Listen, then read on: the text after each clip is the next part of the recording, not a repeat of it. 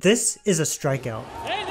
Believe it or not, even though it looks like Jonah Heim has made an extremely athletic catch on a pop-up, because it was a foul ball that hit his mask, it was considered a foul tip. And when foul tips are caught with two strikes, they turn into strikeouts. Heim is not the only person to make a strikeout catch like this before. Martín Maldonado did this just last season as well. But sometimes strikeouts don't even turn into outs. If the catcher doesn't catch a strike that isn't fouled and first base is open, the batter can try and take first base. And many have reached. Sometimes that batter has even reached second base, meaning that a pitcher could strike out infinite batters without recording a single out. But this hasn't happened yet. There have been 93 MLB pitchers to have 4 strikeout innings, but none have recorded a 5 strikeout inning, although a Royals prospect did it in the minors once.